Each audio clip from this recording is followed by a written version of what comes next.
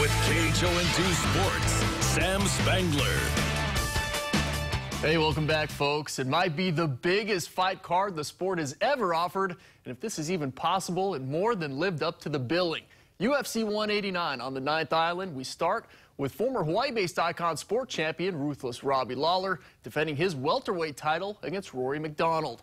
Co-main event was a rematch of the two doing battle back in 2013. Robbie defending his UFC belt for the first time in his career.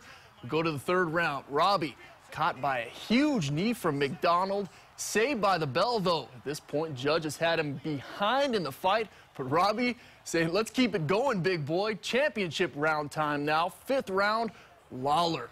Digging back to the wars he had here on Oahu, ruthless living up to his name.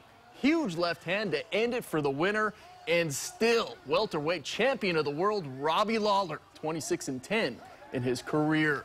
The headliner, no doubt tonight, Dublin's finest. Conor McGregor and Chad Mendes scrapping for the interim welterweight title. This one was wild. First and second round, Mendes unleashing some wicked elbows and shots to McGregor. But the fighting Irishman had the golden chin. McGregor getting up at the end of the second round from a submission attempt and putting Mendes on the canvas. He wins it by TKO at the 10-second mark in the round. Waianae's Max Holloway still the only fighter to ever take the new champ McGregor to a decision. For the winner by unanimous decision, Louis the Last Samurai Smolka.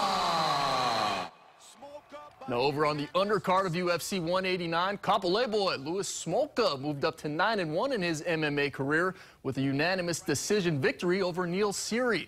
The last samurai dominated the fight on the ground with some expert level grappling. Check it out. Controlling the action for almost 12 minutes to just 50 seconds for Seery. Smolka now 3 and 1 in the UFC.